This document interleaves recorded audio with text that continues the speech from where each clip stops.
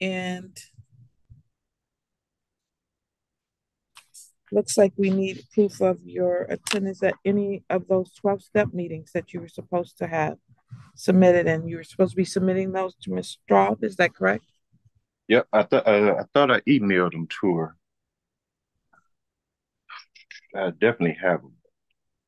One moment, please.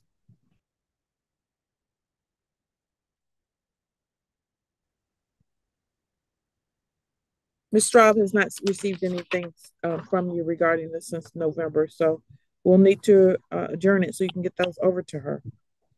Okay.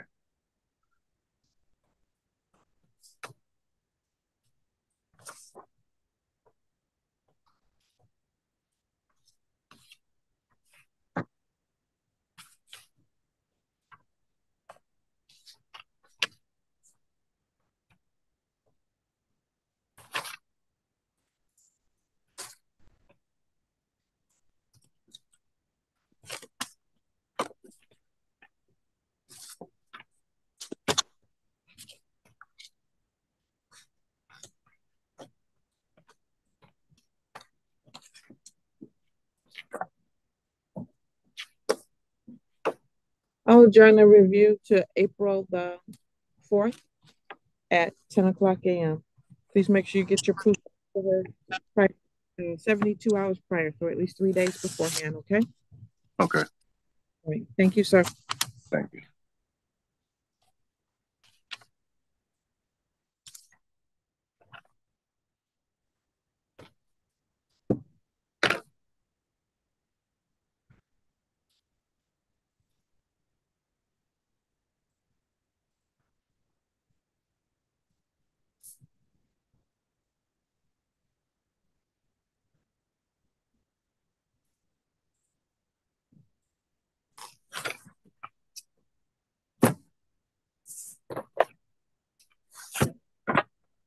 State of Michigan versus Brandon Sparks, twenty-three FB eleven ninety-four.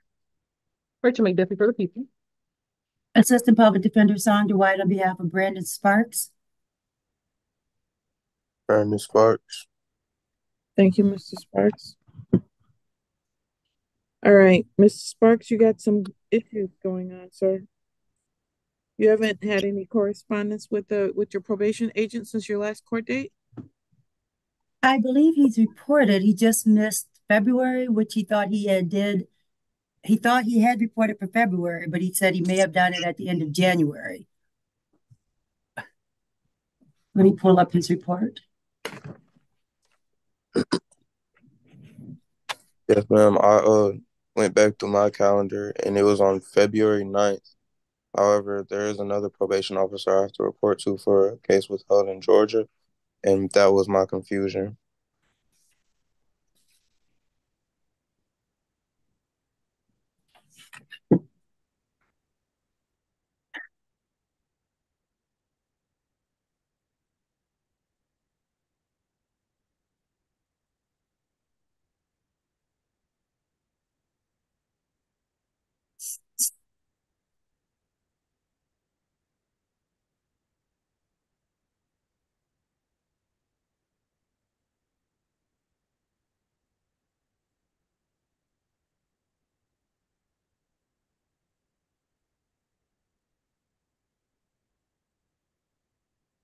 All right, we're checking on something to see if there was an actual report since uh December.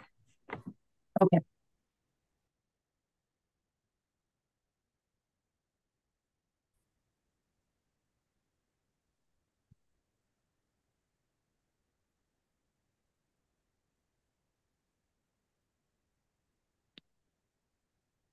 While we're looking up that issue, he also has not completed the MADD Victim Impact Panel or the ARM program. He said, uh, Mr. Sparks, we're asking you for more time to do the MADD Victims Impact Panel, correct? Yes, ma'am. Okay, I, and, One, one moment, please. okay, You're in static.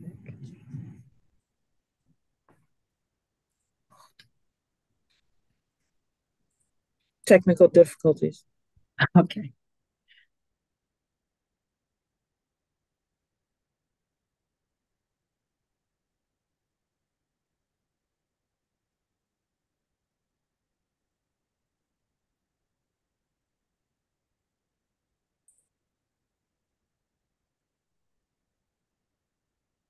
All right, you may continue, Ms. White.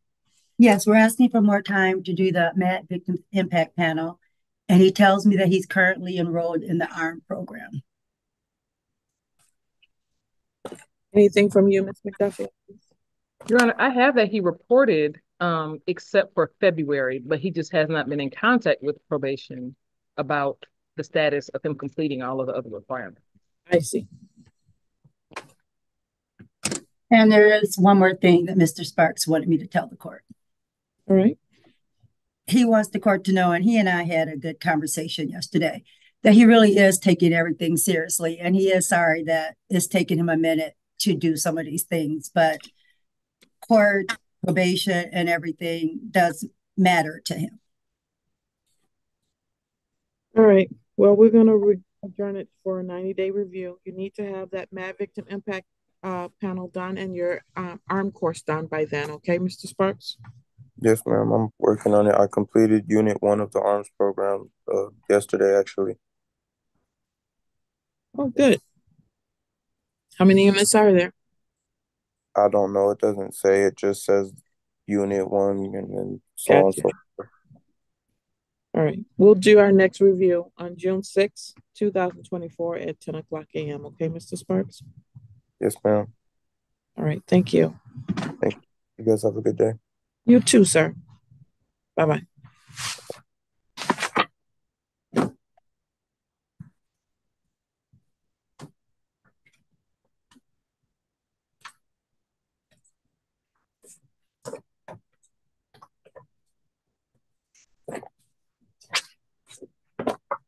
State of Michigan versus Stephanie Brenner, case number twenty-three FB twelve sixty-four. Stephanie Brenner.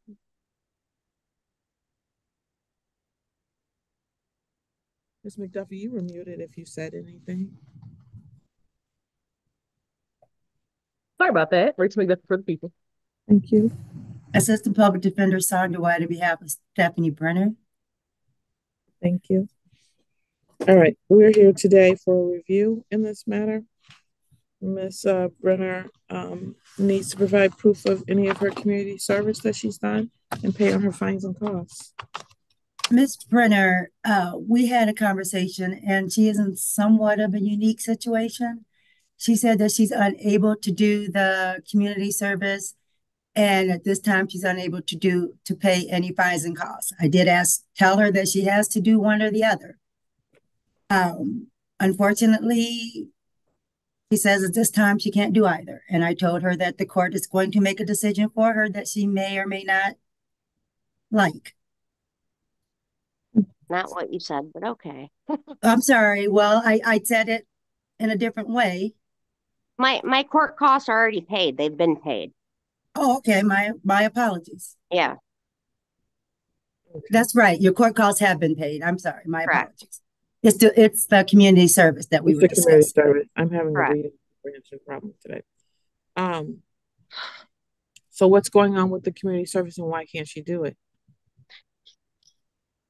Are you Transporta- asking asking me? Transportation and trying to get places, and she doesn't have the money. She doesn't have the money to do community service. I don't understand that part.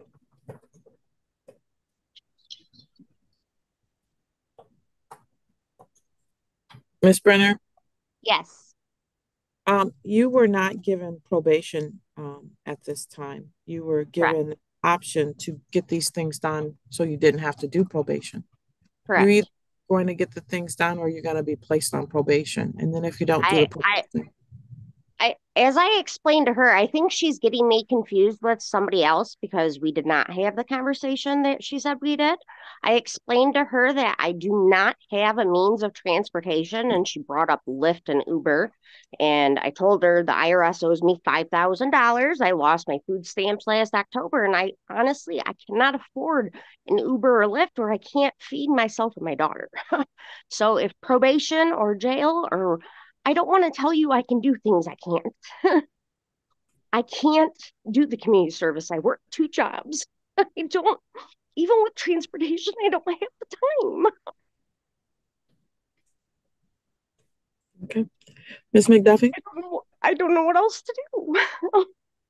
So the last time we were here, Ms. Uh, Brenner shared that I think her transmission had gone out. So that was why she hadn't started the community service due to her car troubles at that time.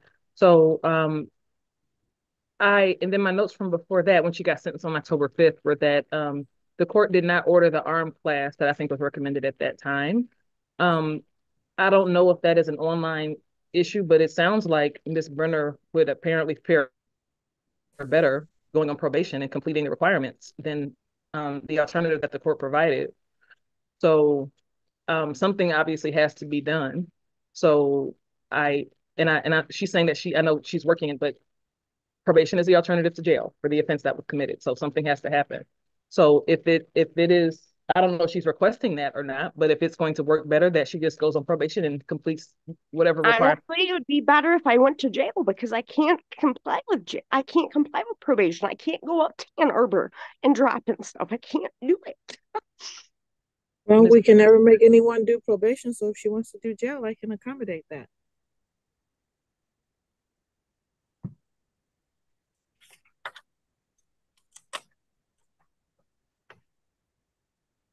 If I go to jail, I would request that I don't get taken off my Suboxone like I did last time.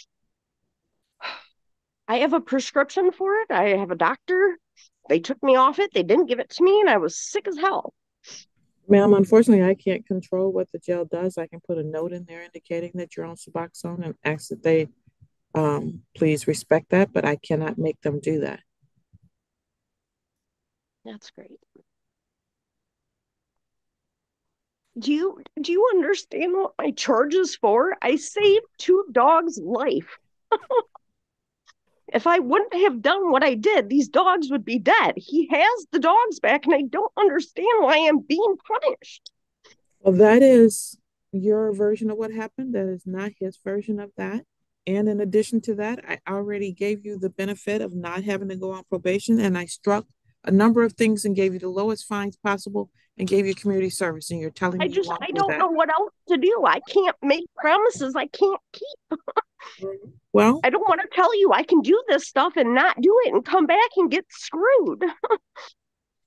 right. I'm just trying to be honest. Well, then that's then there's a, a consequence for not doing what you're ordered to do when you commit a crime, ma'am. Okay. All right. All right. So the the sentence is going to be 30 days in the Washtenaw County Jail. Is when when do you want to turn yourself in for that? Probably not until my daughter is out of school. Well, then I'll issue a bench warrant. You're gonna you don't have a choice to just say you're not going to do the community service, ma'am. I'm not saying I'm not doing it. I'm saying I can't. It's not an option. Okay. I go to jail for 30 days, I'm gonna lose both of my jobs. I'm gonna be super screwed. Okay. Well, But those are your cares. But nobody cares. It's fine. All right. So is your client requesting that she do the jail time at this point, Miss White? Yes, be done with it. Yes. Mhm. Thirty days in the Washtenaw County Jail, zero credit. So glad I paid my fines. Got me real fucking far. Couldn't eat for a month, And but hey, you- guys got paid. Ma'am, if you curse one more time while you're on here, you're gonna be held in contempt and you're gonna get a consecutive thirty days. Do you understand that? Yes, ma'am.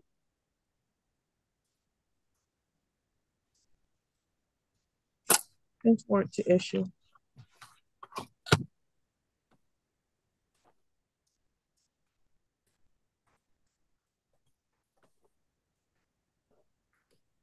Let me, um, I need one, I need to put a sticker in there.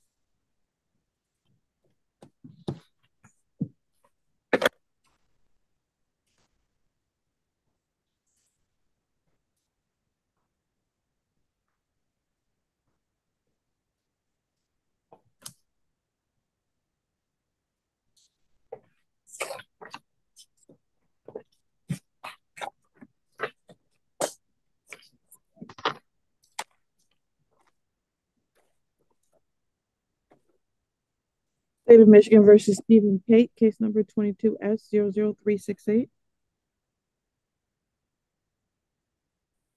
Rachel McDuffie for the people. Assistant Public Defender Allison Muller here on behalf of Stephen Pate. Mr. Pate, can you state your name for the record, please? Mr. Stephen Pate. Thank you, Mr. Pate. Good You're morning, welcome, sir. There was a time when that was you. Miss Washington.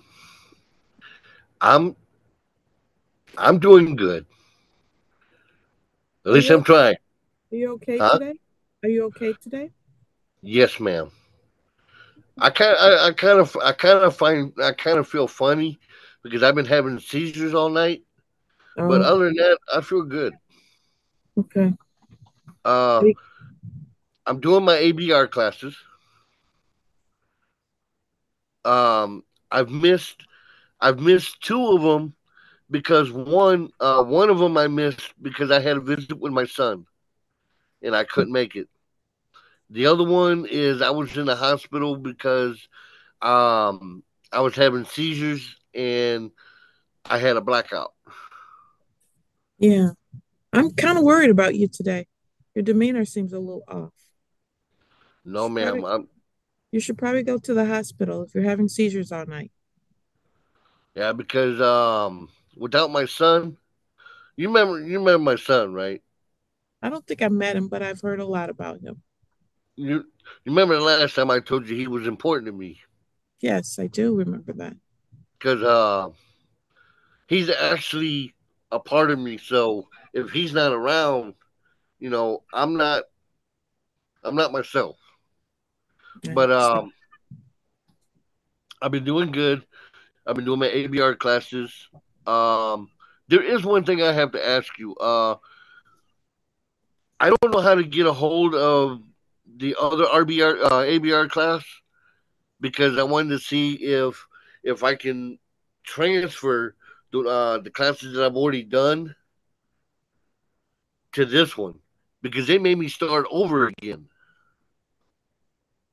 That's going to be up to uh, community corrections as to whether or not they're willing to accept those classes. because I was almost done with the other ones.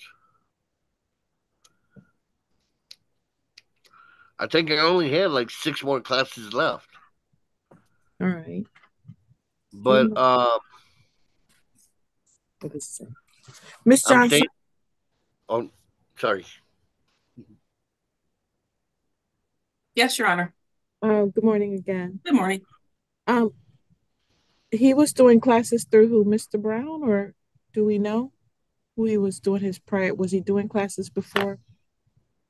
Um, it was with the ABR program, but he couldn't afford those anymore, so we switched him to accountable choices. Okay. And so accountable choices, do they know he was attending classes before and would they take into consideration those or they've already decided? Um, i've talked to Mr. Henderson separate because he's under the he's doing classes right now under the grant through community corrections. So there's kind of like a trick to it because of how the grant works. Um, but Mr. Henderson and I are working out some sort of agreement to kind of give him credit for those classes that he previously took. Okay. All right. Thank you. Because Uh, I'm trying, I'm trying, I'm trying my best to get off probation. Well, you're due off on June seventh, Mr. Pate, so you got to get the classes done. Yeah, that's that's what I'm trying to do. And you and Miss Drotar should probably figure out how to stay away from each other. I've already figured, I've already figured that out. Okay. Um, I do have to tell you though, um, per your request, um, the only time, the only time that I contact Miss Drotar is when it de- is when it deals with David. Okay. And Well, when it sounds deals with the like parenting classes. It sounds like that's that that's still creating some issues. So that's concerning. You got to make Yeah. sure that you don't have any issues. Okay. Well, me and Miss Drotar is not together anymore. I eliminated all that. The only time that we talk is is is when it deals with David.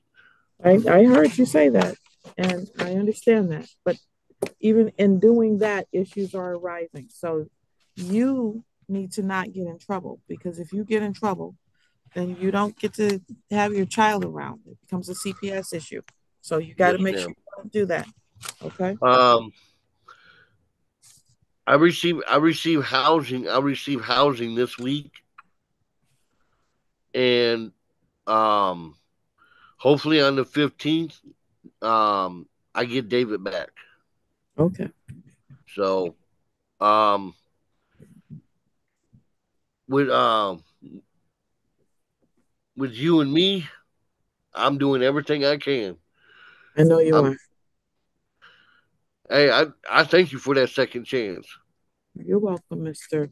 Pate. And I'm rooting for you. So keep doing what you got to do. Okay. Yes, ma'am. I'm staying in contact with Miss Johnson.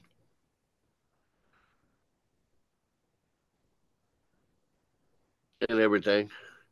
So she she's up to date she's up to date on my uh on my progress and right. my achievements and my non achievements. All right. I'm gonna still recommend that you uh, go see a doctor today because you've been having medical issues all night. So you should try to see if you can do that. Okay. Yes. And and I'll see you back here in 30 days. Oh, that'll be on Yes, April 11th. Okay. Yes, ma'am. Miss Miss Moeller, is there anything you wanted to say? I did notice you were unmuted. No, Your Honor, I didn't. Thank you. Anything from you, Miss McDuffie? I think from the people, Your Honor. All right, thank you. All right, Mr. Pate, I will see you back here on April 11th. Okay. Yes, ma'am. Thank you. Take care of yourself. You too. Bye bye. Bye bye.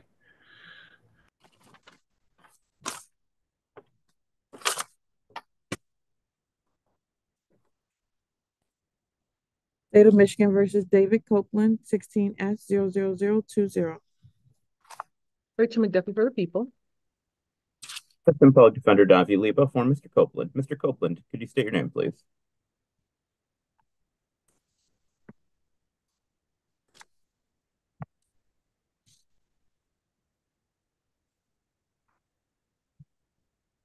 Mr. Copeland, we, we couldn't hear anything if you said anything, sir. I'm sorry. I was by I was over by work uh, my, where I'm working at. And there, there's a lot of noise there. I walked away from there. Oh, Sorry. okay, thank you. That's okay. Please state your name for me. Uh, David Copeland. Thank you. All right, we're here for money today. Mr. Copeland, supposed to be making a hundred dollar payments on the fifth of each month. Correct. I haven't been able to because of the weather. Why I haven't made a payment yet. But um, like I told my attorney yesterday, that I can make payments on the 15th, starting this um this week or this 15th, of hundred dollars a month. So I don't understand the weather. What do you mean? Oh well, when we had all that, right after we had that our our last court date, we had a lot of bad weather, and I wasn't able to work. So we pour, I poured concrete, so we don't. That today's actually the first day we're pouring concrete this year, so All right. I just I'll happened see to be time is my court date. I'll see you back here on May sixteenth, Okay, two thousand twenty-four at ten AM. See if you're making your payments. As I said before, if you're making your payments, you don't have to show up here. Okay? okay, all right. Thank you, ma'am. See ya. Have a good day. You too. I don't know if we went back on it. I guess we did. Oh. How do I turn this off? It means that. Thank you.